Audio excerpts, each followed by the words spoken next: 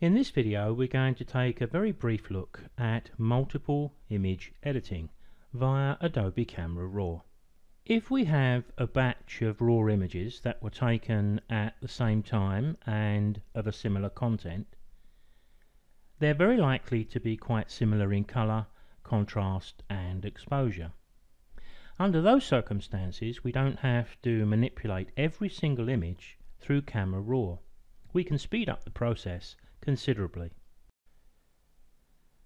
Now there's a couple of different ways that we can deal with this multiple image editing technique. Of course we need to set up the changes first of all in Adobe Camera Raw, but we need to apply them in Adobe's Bridge because that's where we get access to all of the thumbnails. Now one of the ways to do this is to set up a preset in Adobe Camera Raw. I've already gone through that process in another video, but just as a sort of a recap, let me just select one of these images and double click to open it up into Camera Raw.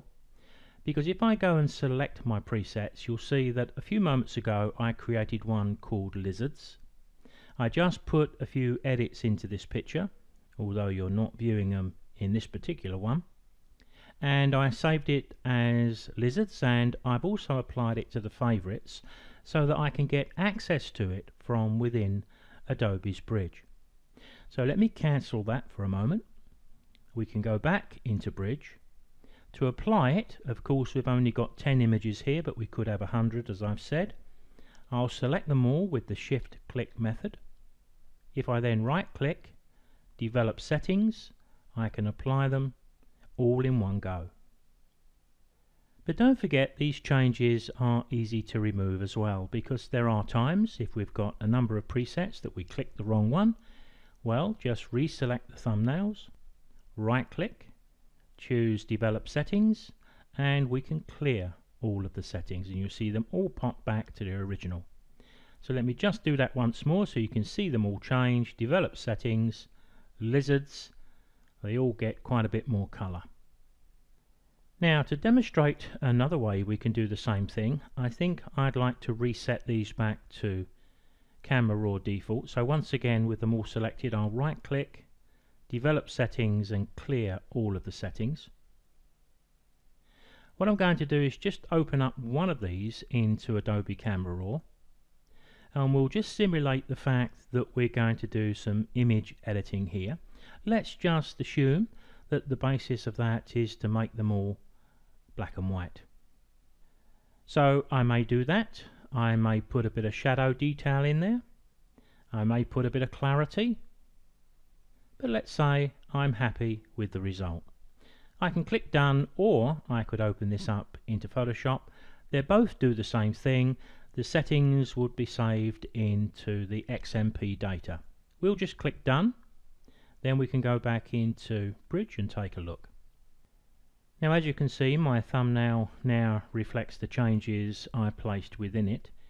But if I wanted to place the changes I have with the black and white one into the other 9 or another 90 then I need to right click the thumbnail develop settings and copy the settings.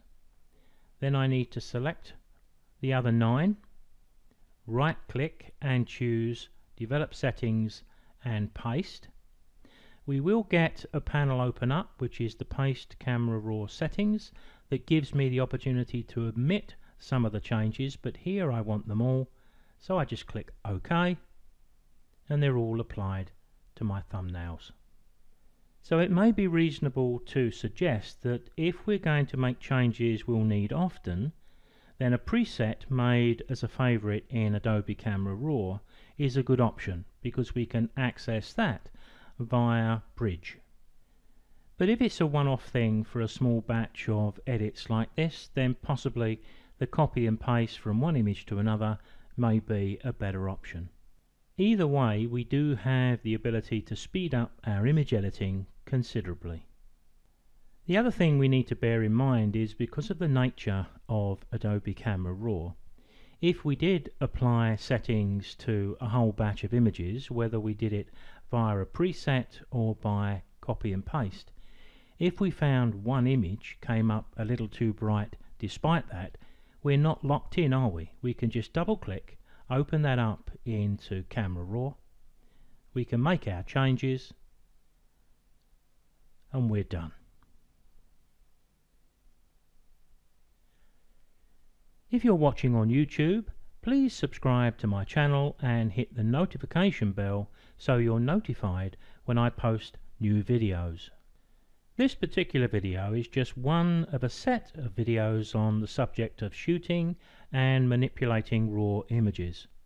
To find the rest of these videos, come along to the website currently posted on screen, look for our Photoshop CC tutorials and then individual subjects.